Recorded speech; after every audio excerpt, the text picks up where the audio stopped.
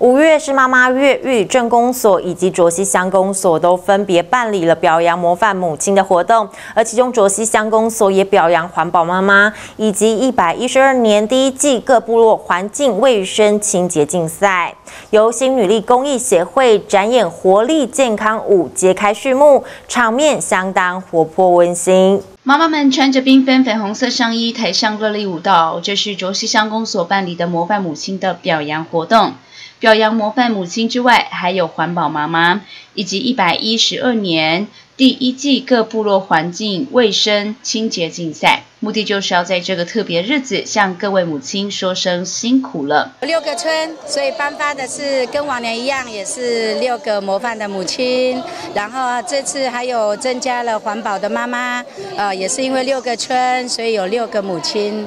卓西这一次总共表扬六位模范母亲以及六位的环保妈妈，其中来自太平村代表获表扬的母亲田秀琴，内心非常感动，也说当妈妈真的很不容易，尤其一路走来单亲独自抚养三个孩子，只要孩子都健康，对她来说就是一大幸福。因为一个人的力量不够，没有可以倾诉的对象、聊天的对象、商量的对象，然后有时候一个人。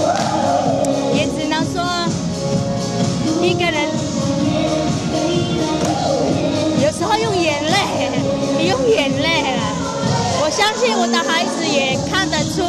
我对他们的付出，我对他们的辛苦有。另外，在玉里镇公所艺文中心办理妈妈节的表扬活动。今年玉里镇总共表扬十七位的模范母亲，镇长龚文俊表示感谢天下母亲的辛劳跟付出，并且说明明年会与玉里镇妇女会共同来办理母亲节的活动，让每一位妈妈在这天感受满满的爱。明年开始，我们未来母亲节的活动，为了要更尊重我们受奖的这些母亲，我们跟妇女会共同主办，而不是动手自己玩自己的，好不好？我们也希望所有的代表。能够支持预算通过。